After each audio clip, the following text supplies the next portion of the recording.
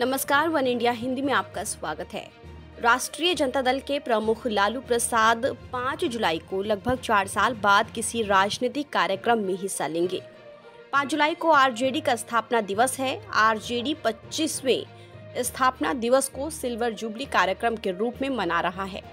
5 जुलाई को ही रामविलास पासवान की जयंती भी है।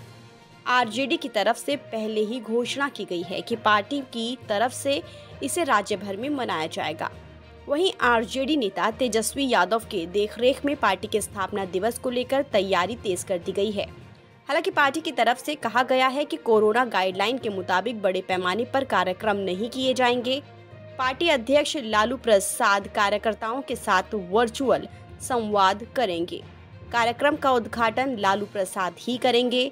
पार्टी की तरफ़ से कहा गया है कि 5 जुलाई को राज्य के सभी 243 विधानसभा क्षेत्रों में पार्टी के नेता 25-25 पौधे भी लगाएँगे। बता दें, आरजेडी नेता तेजस्वी यादव ने मीडिया से बात करते हुए कहा है कि 25 सालों के कठिन परिश्रम के दम पर ये पार्टी खड़ी हुई है।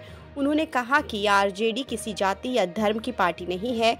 साथ ही उन्होंने कहा कि पार्टी का विस्तार नए क्षेत्रों में भी हो रहा है। आपको बता दें, लगातार बदलते राजनीतिक घटनाक्रम के बीच लालू प्रसाद स्थापना दिवस कार्यक्रम में किन बातों पर ज़ोर देंगे, इसे लेकर सबकी निगाहें होंगी। बताते चले कि हाल ही के दिनों में राजद की तरफ़ से लगातार ये दावे होते रहे हैं कि आने वाले समय में राज्य की एनडीए सरकार गिर जाएगी, जेडीयू और आरजेडी दोनों ही दलों की तरफ़ से एक दूसरे को तोड़ने का दावा किया जा रहा है।